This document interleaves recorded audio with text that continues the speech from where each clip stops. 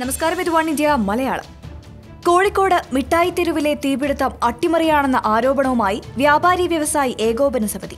എല്ലാ വർഷവും മിഠായി തെരുവിലുണ്ടാകുന്ന എല്ലാ തീപിടുത്തങ്ങളും അട്ടിമറിയാണെന്നും അതിനാലാണ് അന്വേഷണ റിപ്പോർട്ടുകൾ പുറത്തുവരാത്തതെന്നും വ്യാപാരി വ്യവസായി ഏകോപന സമിതി പ്രസിഡന്റ് ടി നസറുദ്ദീൻ പറഞ്ഞു. ഇത്തവണയുണ്ടായ തീപിടുത്തം യാദൃശ്ചികമല്ല ആരോ മനഃപൂർവം കത്തിച്ചതാണ്. കത്തിച്ച ശേഷം ഒരാൾ കടയിൽ നിന്ന് ഓടിപ്പോകുന്നത് കണ്ടതായി വിവരങ്ങൾ ലഭിച്ചിട്ടുണ്ട്. കടയ്ക്ക് പിറകിൽ ഒഴിഞ്ഞ സ്ഥലമുണ്ടെങ്കിൽ ആ കട കത്തിയിരിക്കും എന്നത് സത്യമാണ്. ഒരു വർഷത്തിനുള്ളിൽ ഇനിയും തീപിടുത്തമുണ്ടാകുമെന്നും അദ്ദേഹം പറഞ്ഞു. ആറു തവണയോളം മിഠായി തെരുവിൽ തീപിടുത്തമുണ്ടായിട്ടുണ്ട്. അന്നെല്ലാം അന്വേഷണത്തിനായി കമ്മീഷനെ നിയമിച്ചു. എന്നാൽ ഇതുവരെ ഒരു അന്വേഷണ റിപ്പോർട്ടുകൾ പോലും പുറത്തു വന്നിട്ടില്ലെന്നും അദ്ദേഹം പറഞ്ഞു. ഫെബ്രുവരി ഇരുപത്തിരണ്ടിനാണ് മിഠായി തെരുവിൽ മാനാഞ്ചിറ ഭാഗത്ത് രാധാ തിയേറ്ററിനടുത്തുള്ള മോഡേൺ എന്ന തുണിക്കടയിൽ തീ പടർന്നത്.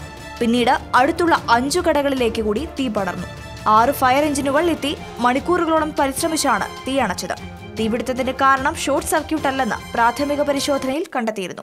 ഈ വാർത്തയോട് പ്രതികരിക്കാം ഒരു കമന്റിലൂടെ. Latest news like share and subscribe to One India Malayalam